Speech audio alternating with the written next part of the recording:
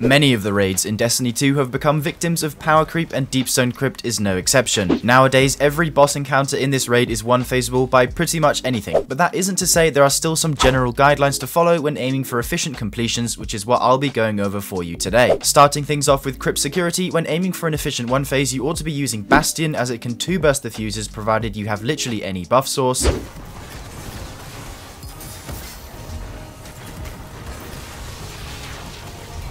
And please, for the love of all that is holy, do not use Xenophage as it is extremely slow by comparison. Moving on to Atraks, you should be aware that at minimum it takes 3 Parasites and 2 Thunder Crashes to achieve the 1 floor kill, but in general it's best to have as many one-off supers as possible, which for Warlocks is Nova Bomb, for Titans is Cuirass Thunder Crash, and for Hunters is either Blade Barrage or Celestial Nighthawk. Another cool thing about Atraks is that she cannot be affected by Tractor Cannon but can be debuffed by any source of Void Weaken, such as from Void Grenades or the Seasonal Artifact with Solar abilities, making sure everyone is running Parasite, your kills should resemble the following.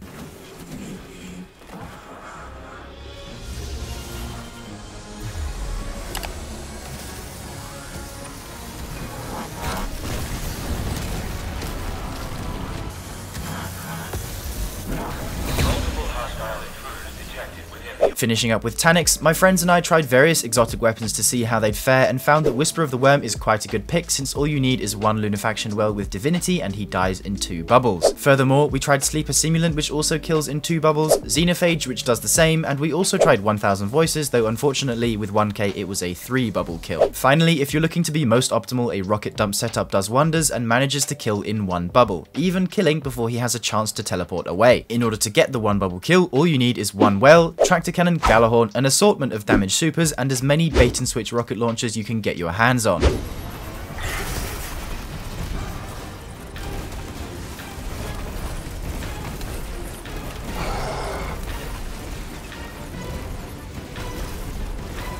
It's around this point specifically when the health bar is at the T in Taniks you should pop your damage supers if you want to kill him before he teleports away.